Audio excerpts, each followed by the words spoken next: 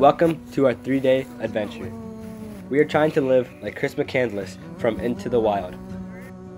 As Thoreau said, we went into the woods because we wished to live deliberately and to front only the essential facts of life. Here's us getting a ride to get dropped off at Stampede Trail. Into Alaska, 25 degrees. Hard terrain, cold weather. Now we are trying to find open land to build a settlement.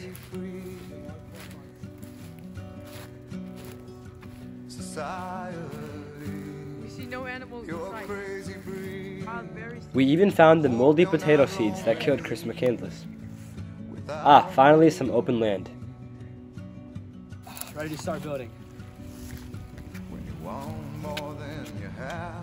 Construction has started. Day one is coming to an end.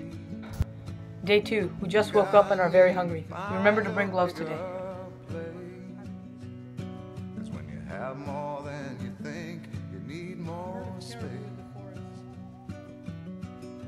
Now we are gathering tools to hunt.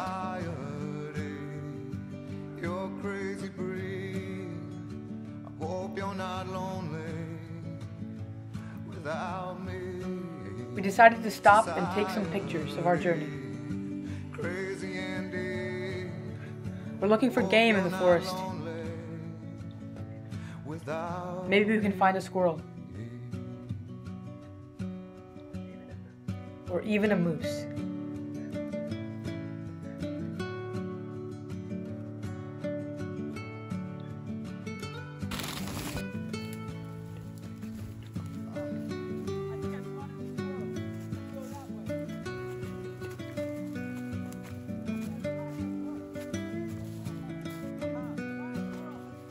Day two is coming to a close. Day three has begun, and we're making a campfire today.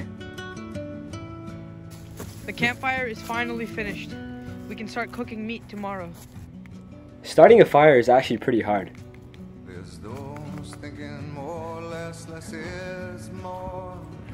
In the distance, we found a bus. Hopefully, this bus has supplies and food as our journey comes to a close. Roomba, Roomba. Vacuum. Kinda like it's starting from the top. You can't do that. As we walk away from our adventure, a few quotes resonate with us. From Into the Wild, the very basic core of a man's spirit is his passion for adventure. As modern day transcendentalist Bear Grylls has said, the line between life or death is determined by what we are willing to do. And as Everett Ruess from Into the Wild has said, I am always being overwhelmed. We require it to sustain life. Hope you're not angry if I disagree. As Ralph Waldo Emerson said, life is a journey, not a destination.